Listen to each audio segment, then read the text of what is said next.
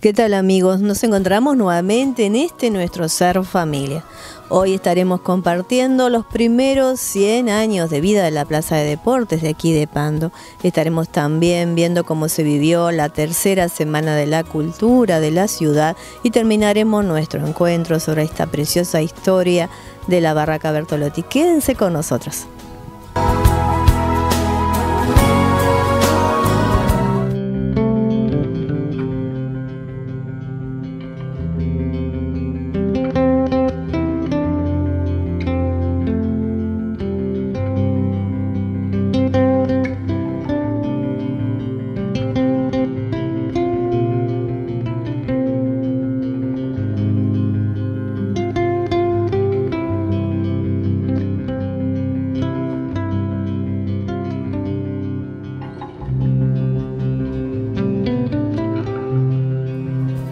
La Plaza de Deporte de aquí de nuestra ciudad de Pando cumplió sus primeros 100 años de vida y lo celebró de una manera preciosa, compartiendo con personas específicas, con personas que han formado parte de la historia durante estos 100 años, compartiendo sus vidas, de qué manera trabajaron, cómo se vivía, cómo se practicaba, cómo se eh, hacía el deporte en, diferentes tiempos, en diferentes etapas durante estos 100 años y bueno, también de una manera muy linda, agradeciendo la vida de tantas personas que han pasado y que siguen pasando por esta plaza.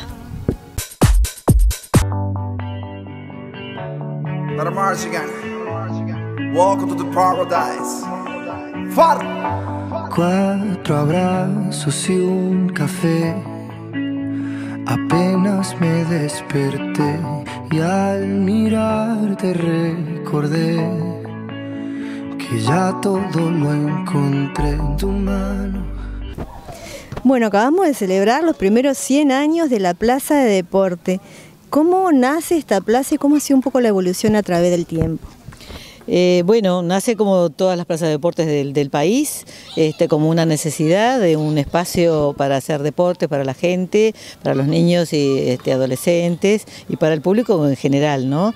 Este, y bueno, y acá fue una de, las plazas que, se inició con, montones de, proyectos que se han ido cumpliendo, que se han ido agregando cosas y bueno, llegamos a estos días que se cumplieron los 100 años, ¿no? De todo. Escapamos juntos, ver el sol caer. Vamos pa' la playa, pa' curarte el alma. Cierra la pantalla, abre la medalla. Todo en el Caribe, viendo tu cintura. ¿Cuáles son las diferentes actividades que se han ido desarrollando a través del tiempo aquí? Bueno, eh, la plaza empezó en 1924 y ahí habían algunas canchas, no estaba el edificio y en ese momento se hacía fútbol, eh, fue tenis, una de las pocas canchas del país que se hizo con cancha de tenis. Y después había un profesor que sabía esgrima y entonces también hacía esgrima y básquetbol y fútbol, así empezó con un gran rincón infantil y unos juegos para hacer calistenia en sus orígenes. Luego le bituminizaron y las canchas por allá por la, década del 70 y, en el 90 y siguieron siendo siempre deportes y tenis a nivel de, clase de educación física. Y en el 95 este, se inauguró la piscina y a partir de ahí en los veranos es una piscina abierta, también se da, se ofrece piscina para la comunidad eres un cabullo, me gusta lento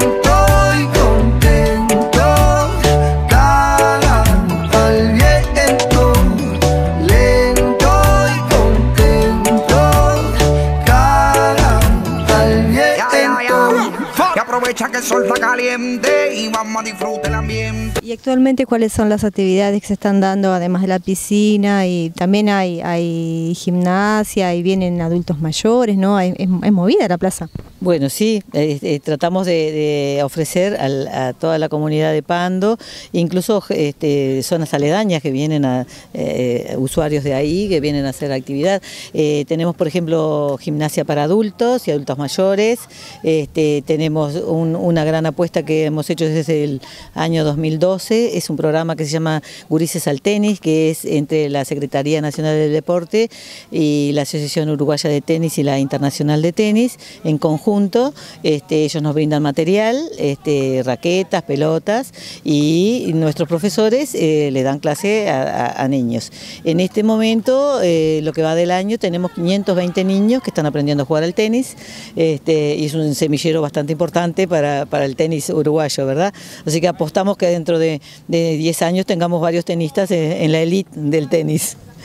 Vamos a meternos pa'l agua pa' que viaje rico se siente Y vamos a tropical por toda la costa chinchorreal. De chinchorro a chinchorro paramos a darnos una medalla. Bien fría pa' bajar la sequía. Un poco de Bob Marley unos tragos de sangría. Pa' que te suelte poco a poquito Porque pa' vacilar no hay que salir de Puerto Rico. Increíble, tenis acá en una ciudad pequeña, ¿no? Sí, y ahora se han sumado ya juveniles.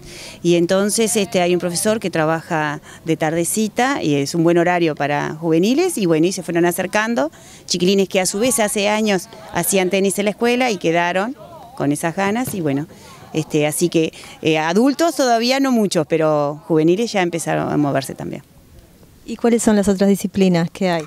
Este, bueno, después hacen eh, handball, eh, tenemos también un profesor que da clases de hockey, eh, ten- tenemos también rugby, esos dos grupos se están formando recién, todavía no están funcionando este año, pero han funcionado años este, anteriores, este, y bueno, y apostamos a, a todos estos deportes que no son usuales, ¿no? Por ejemplo, básquet y fútbol que se hacen en otros lugares, acá también se hace, se hace una parte de recreación con las ONG, pero apostamos más bien a estos deportes que son un poco más este, difíciles de, jugar, sobre todo por los materiales, ¿no? Y por este, también las zonas de juego, porque es difícil hacer hockey, por ejemplo, nosotros tenemos pastos, hacemos en buen- buenos lugares este, para hacer eso, y el rugby también eh, necesita un lugar donde puedan caer y no lastimarse los chicos, este, y bueno, todos e- esos deportes que son, no son usuales, estamos este, haciendo acá en Pando, en la Plaza de Deportes de Pando. De coquito Y como dice Ponzi, vamos a darle despacito Pa' que te suelte, poco a poquito Porque pa' vacilar no hay que salir de Puerto Rico. Vamos pa' la playa, pa' curarte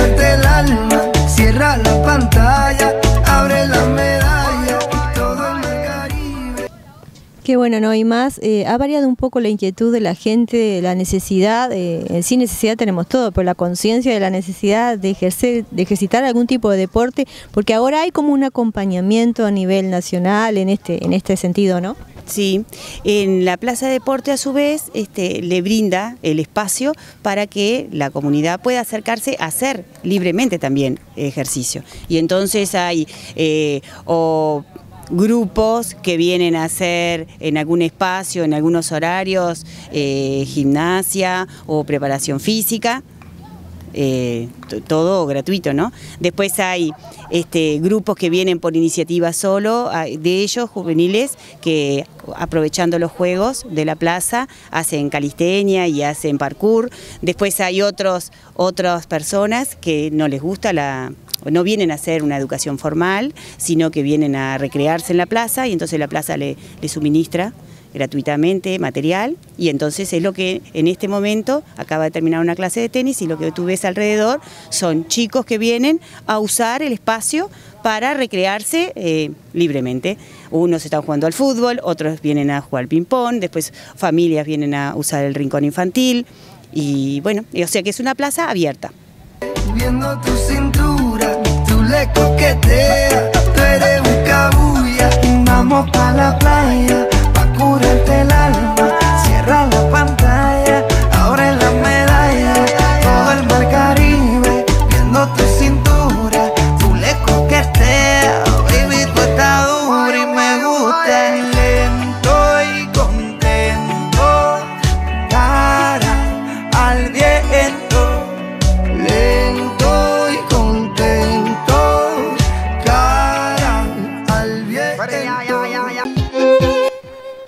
Ecuestre Un Paso Adelante es una institución dedicada a la mejora de la calidad de vida de las personas, mediante programas de apoyo personalizados, centrados en la interacción con los caballos y el disfrute mediante el contacto con la naturaleza.